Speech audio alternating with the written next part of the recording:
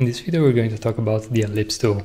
Now, in order to access the ellipse tool, simply click on the arrow on the top left uh, icon and uh, you're going to find the ellipse, which you can also use uh, the keyboard shortcut O.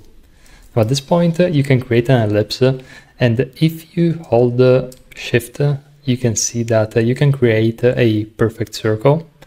And as you create the ellipse, you can actually see that on the very right uh, hand side there is this uh, small dot which uh, if you hover over the cursor is going to change and you're also going to find the label arc next to it.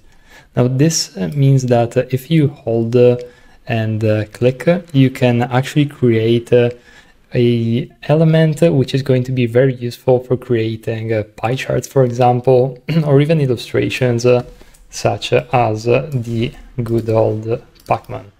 Now, jokes aside, you can actually uh, create also charts with uh, the ratio, which is going to enable you to easily add a empty hole inside of uh, this shape.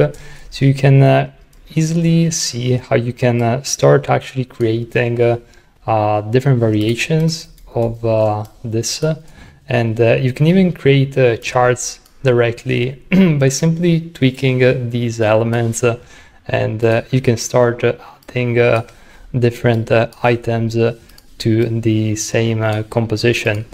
Now, this is pretty much it when it comes to the ellipse. There isn't too much else to it. you can also see all of the data and coordinates of the start point as well as the sweep and the ratio on the top right hand corner.